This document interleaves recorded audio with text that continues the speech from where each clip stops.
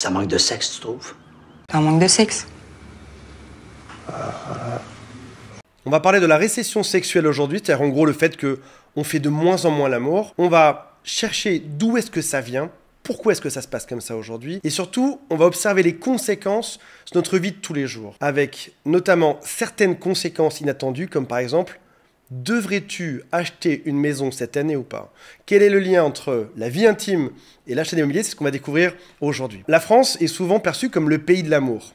Dans tous les pays du monde, on voit les Français comme extrêmement romantiques. Il y a donc quelque chose qui est préoccupant dans le fait de comprendre que tout à coup, les Français le font plus. Il y a une étude de l'IFOP il y a quelques mois de ça qu'il nomme la sexe récession. Cette étude a été faite fin 2023 et a été analysée début 2024 et on voit notamment que notre nombre moyen de rapports intimes est en baisse de plus de 22%.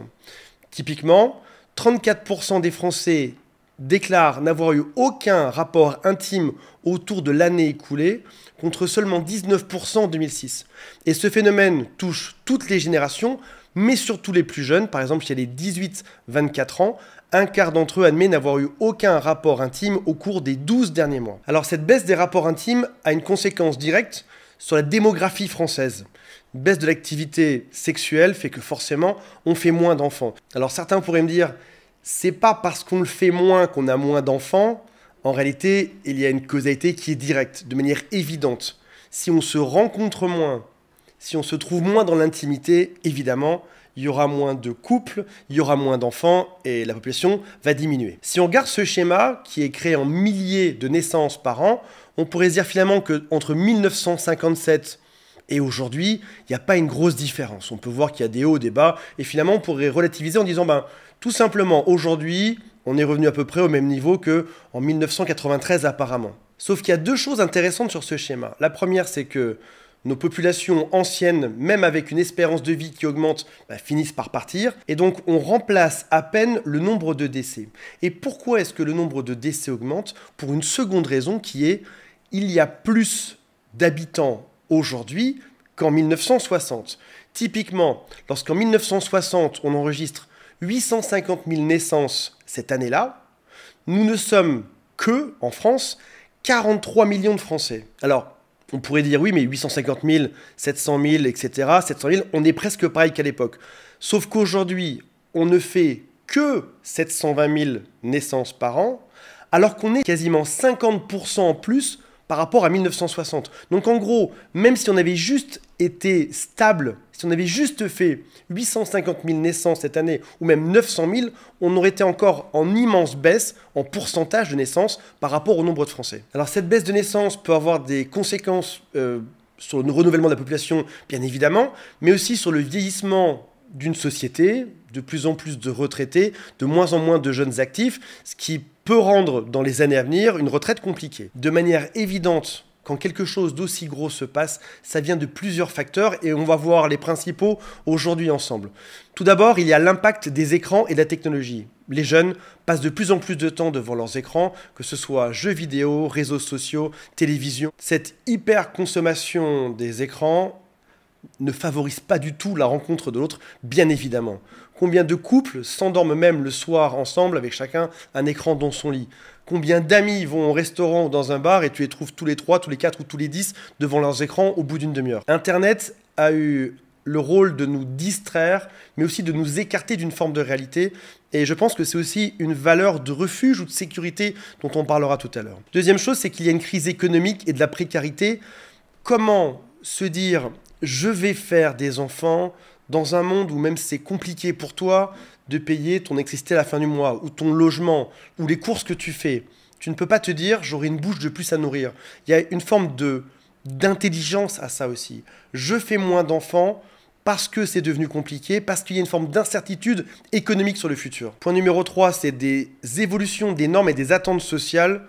Dans le temps, tu étais en comparaison par rapport au plus beau mec ou la plus belle femme de ton village. Tu restes le plus beau du village.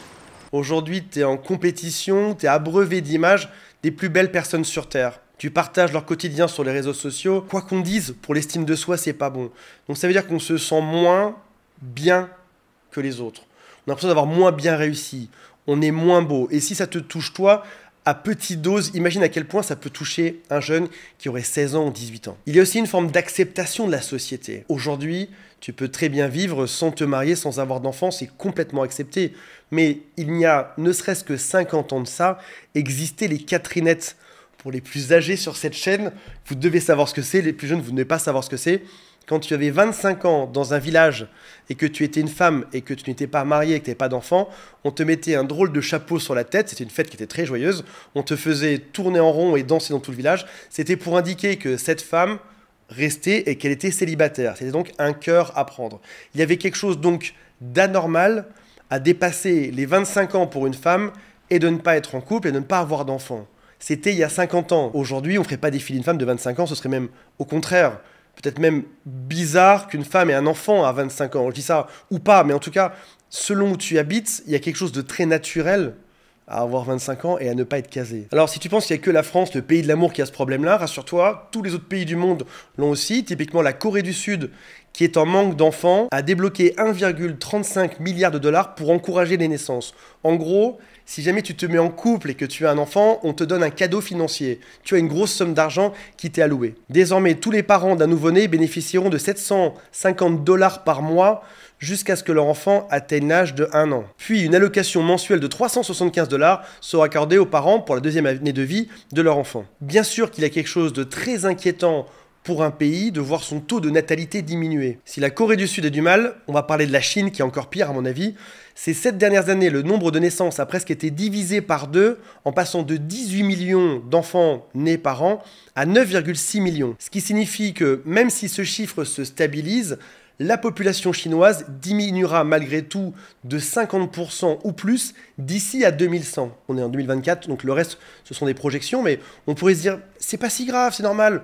On montait comme ça, tout d'un coup on descend un petit peu, ça peut remonter après. Ce n'est pas ce que les économistes et ceux qui s'occupent de la démographie pensent. Ils pensent que ce chiffre-là va diminuer et va continuer de chuter jusqu'à diviser par deux une population ce qui est gigantesque. Ce serait donc passé de 1,4 milliard d'habitants en Chine à peut-être quelque chose comme 700 millions. En Chine, cette baisse de la démographie s'explique pour plusieurs raisons, notamment le coût élevé d'éducation, le manque de confiance dans l'avenir économique, comme en France, et aussi une méfiance croissante envers l'institution du mariage, encore une fois, comme en France. Alors on va vers quoi aujourd'hui?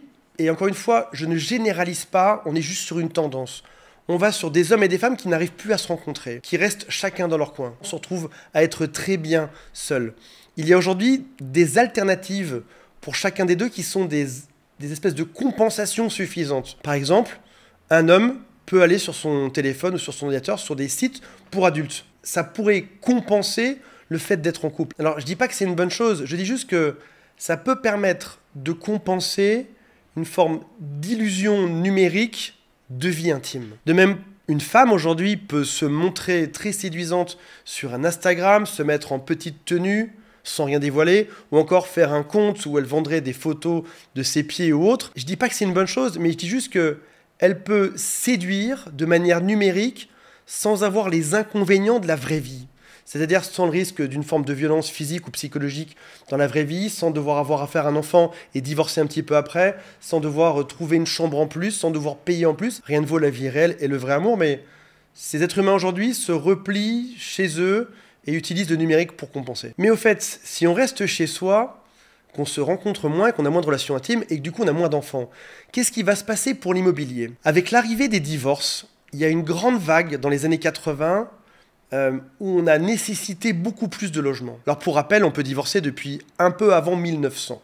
Donc ça fait longtemps que ça existe, mais c'est rentré dans les mœurs depuis finalement pas si longtemps que ça, je dirais années 70, années 80. J'ai un oncle qui a divorcé, moi, dans ma famille. C'était un des premiers à l'avoir fait. On le regardait bizarrement. On lui demandait comment est-ce qu'il se sentait, etc. C'était quelque chose qui était étrange. Et je vous parle de ça, c'était peut-être dans les années 90. Donc il y avait quelque chose qui était assez moderne là-dedans. Et puis d'un coup, ça a été démocratisé. Et aujourd'hui, quand on divorce, on n'est pas tellement jugé par ses voisins. Pour rappel, on allait encore plus loin. Si ma grand-mère avait décidé de quitter son grand-père, Peut-être que le village l'aurait rejeté, l'aurait lapidé, je sais pas. Mais c'était pas du tout toléré. Donc on est passé par plusieurs étapes d'acceptation. Aujourd'hui, et notamment des années 80, on pouvait enfin divorcer comme on le souhaitait. Et le nombre de logements a été multiplié depuis ce jour-là. Avant, on avait besoin d'un logement pour deux parents et leurs 2,1 enfants. Disons, pour cinq personnes, il fallait un seul logement. À partir des années 80, Il fallait donc deux logements, un pour le père divorcé, un pour la mère divorcée, et puis encore deux, trois chambres pour les enfants. Donc tu te retrouves avec deux logements à peu près similaires sur le marché. Alors, il n'y a pas que ça qui explique le fait que les logements ont grimpé en prix depuis les années 80-90, mais c'est l'une des raisons. L'une des raisons, c'est qu'il y a une demande accrue sur le marché. Seulement, qu'est-ce qui se passe si jamais la population baisse et qu'aujourd'hui, on ne veut plus faire d'enfants, qu'on ne veut plus se marier, qu'on veut rester seul chez soi, et qu'admettons, on perde quelques pourcents de la population française par an. Si la population baisse en nombre de Français, le prix de l'immobilier ne remontera pas. Il y aura simplement trop de logements en France par rapport au nombre de Français. Beaucoup de gens disent, en France, il y a toujours eu ces espèces de descente de prix de et puis c'est remonté juste après. Il faut investir. Je peux aussi vous citer tout un tas de pays qui ont eu des baisses immobilières et qui ne sont jamais remontées. Comme par exemple l'Espagne, la Grèce et l'Italie ont connu des baisses importantes des prix de l'immobilier suite à la crise financière de 2008. Et même si les prix ont un petit peu remonté, ils restent globalement en dessous des niveaux de la crise de 2008. Le Japon a eu une grande crise en 1990, les prix n'ont jamais retrouvé leur niveau d'avant-crise. Aujourd'hui, euh, je vous avance certains arguments, je vous montre certaines données que je mets ensemble, euh, j'en tire personnellement une certaine conclusion, j'aimerais que vous fassiez votre propre avis. On ne peut pas lire le futur. On ne peut pas savoir ce qui va se passer. On ne peut pas dire avec certitude les êtres humains vont se comporter comme ci ou comme ça. Il y a deux équipes aujourd'hui, il y a deux types de personnes sur ce marché, il y a deux courants de pensée. Tout d'abord, il y a un courant de pensée qui dit que le film Matrix était assez révolutionnaire dans les années 2000 et qu'on va tous se retrouver à être avec un casque chez soi, tout seul, dans une réalité virtuelle, et qu'on vivra le monde à travers les ordinateurs. Ça, c'est la première façon de penser. Donc en gros, la population va décliner, il y aura de moins en moins de gens sur le marché, l'immobilier baissera non-stop, et on va se retrouver peu et tous connectés en ligne. Tu vois pas qu'on est dans une matrix qui nous pousse au matrixisme? Certains disent même que l'intelligence artificielle aujourd'hui vient compenser le manque d'actifs dans le monde. Parce qu'il y a moins d'actifs, on te met des robots, des outils, un peu comme des palmes pour nager plus vite. Là, on te met des outils pour pouvoir travailler de manière plus efficace. Puis après ça, il y a un autre courant de pensée qui est beaucoup plus optimiste, qui dit que les êtres humains peuvent s'adapter à tout. Et que finalement, ça se passera comme ça doit se passer. Il y a des chances qu'en effet, euh, on soit moins nombreux, des chances qu'en effet, on arrive à se réguler différemment et à trouver une nouvelle manière de vivre beaucoup plus agréable. Et je pense que dans plein de domaines, l'être humain a montré qu'il était parfois capable de s'adapter et de changer. Maintenant, j'aimerais que vous ayez chacun votre propre avis dessus. Moi, j'ai à peu près le mien sur ce qui va se passer, mais euh, j'ai hâte de lire votre commentaire juste en dessous pour savoir ce que vous en pensez. Salut à tous, bye.